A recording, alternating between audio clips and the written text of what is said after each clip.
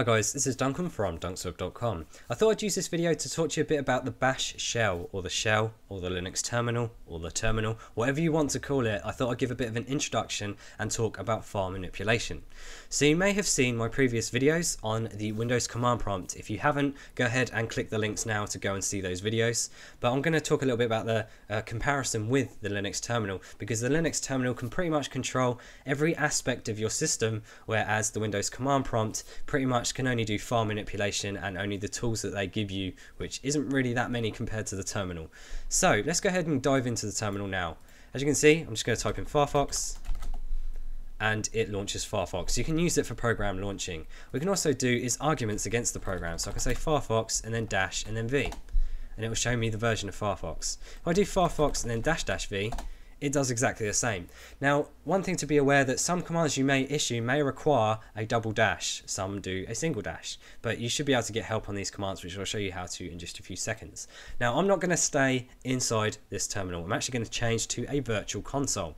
Press Alt, Control, and then F1. As you can see, it totally changes. It goes out of the user interface and it now goes into a CLI or a command line interface. Now I can actually do Alt Control and then F2 and you'll see it looks a little bit different. I'm already logged in to the first virtual console, so you can see it's all logged in.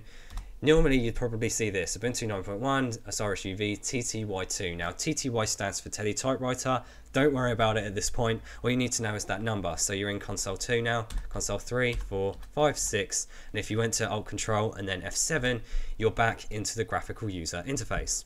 So let's go back into the, uh, the first one that I'm logged into. Now you can see it says Duncan at Osiris UV tilde and then a dollar. What the hell does that mean?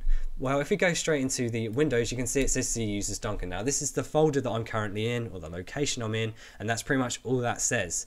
In terms of the terminal, or the bash, you can see Duncan, which is my username that I'm currently logged in as, at Osiris UV, which is the computer name or terminal name, whatever you want to call it. Now, Osiris UV is my naming system for my computers. I usually say Osiris dash and then whatever it's running, so Ubuntu or XP or Vista or Linux, um, yeah, a bit, uh, 7 even, so that'll be Osiris 7, and then a D, an L, or a V desktop, laptop, or virtual. That's what I do, is how I name my systems, but don't worry about that. Now the tilde is basically the home directory, so you can see I have C uses Duncan and these are done with backslashes. You'll see that the file system is totally different, you actually use forward slashes and the tilde is the equivalent of being in uh, home slash Duncan. Now, the dollar sign basically means that you are a user. You're doing your commands as a user. If that was a hash or a gate, which you may see sometimes, that would be you're running the command as root or an administrator. Now, Ubuntu, which is the distro I'm using here, kind of locks you out of that a little bit. You can kind of go into it, but it's not encouraged, and they'd rather you use something called sudo or sudo. It basically stands for super user do. So you're running it as an administrator, you then issue your command, and then it'll go ahead and run it as an administrator. So that pretty much covers what this actually looks like and let's go ahead and start with some file manipulation. If you need to know any more about anything, feel free to let me know. If I've missed anything, leave something in the comments. Um, I may make a future video on this. So I'm going to go ahead and list the directory, um, sorry, list the contents of a directory. Now what you can actually do is very similar to Windows and just do dir and it will show you that. But they've actually got a GNU core utility, a GNU core utility, don't worry about that, that's another thing for a future video, called ls. So press ls, all the blue, all the purple ones are directories and all the white ones are the files. So what I'm actually going to do is uh, change the directory to the desktop. I want to see what's on my desktop right now. So I'm going to go cd and then desktop. But you'll see that it says no such file or directory. But hang on, there is. You can see it there. It's, it's in there. Now, bash is case sensitive, so I actually need to do cd and then a capital D, desktop. And there we go, we're now inside there. I can then do an ls again or a dir, depending on what you do, and you'll see there's something called demo. But I actually made that in gedit, which is a text editor, and I forgot to put the .text on the end, .txt on the end of that file. So I actually need to rename it. Now, bash does have a rename command, but that's more for multiple files. What you actually have to do is move it to a new file. So I'm actually going to do is do move, which is mv, and then demo, demo.txt. You can see nothing really happens. ls, you can see it now is demo.txt.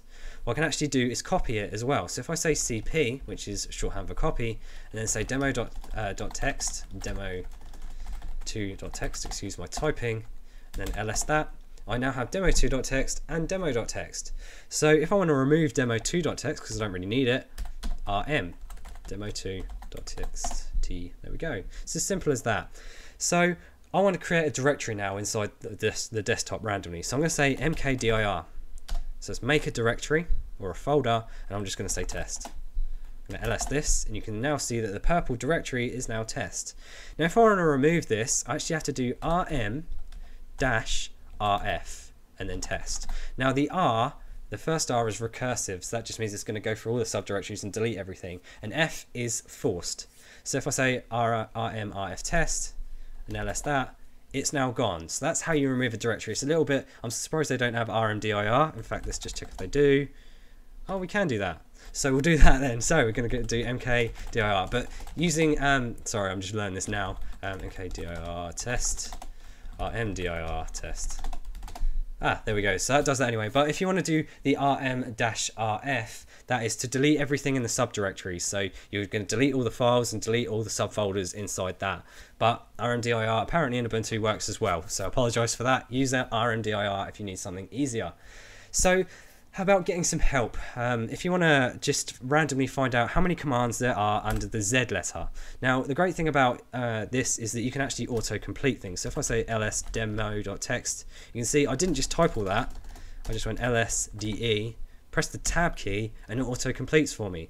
So what you can actually do is do for commands L and then tab and then tab again, and it's going to show me a bunch of commands. See all these different commands. Whoops. And yeah, you can go through all of them. So if I say Z, two tabs, it's going to show me all the commands. Now, Wi-Fi, for example, wanted to know what zipcloak was. I don't know what the hell that means. So I'm going to go man and then zipcloak. This will actually show me the uh, Linux Programmer's Manual, which, as you can see, very easy to read. It tells me the name, zipcloak, tells me what it does, tells me all the commands or arguments I can use against it, another description. Press Q and I can come out of it. You can also do, uh, for example, zipcloak dash dash help. And this will show you a shorthand version of it. You can also do info and then zipcloak. So there's a lot of different ways you can do this. You can just go through all of these and then find out. Now if I want to clear the screen, instead of doing CLS, which you usually do inside Windows, you say clear. It's as simple as that. So that kind of covers it really. That's uh, some basic file manipulation and an introduction to the terminal. As you can see, there's plenty of help. If you want to have a look at a website which covers a lot of the commands, go ahead and go to linuxmanpages.com. You can go to the general commands. You can see there's a hell of a lot here. There's a lot of core utilities that um, uh, GNU, um, all the GNU core utilities, there's a lot of ones they've created, and all the standard commands you can do inside Linux. Now, they may vary across distributions, but they shouldn't really. Bash is usually the same across all of them. So that pretty much covers it. I apologize if you didn't really understand that. Just rewind, have a listen again. If I haven't done anything right, please let me know in the comments. If you want to know anything more in depth, please let me know as well. That's about it really. Thanks for watching this video. Please comment, rate, subscribe if you like my videos, and thanks again.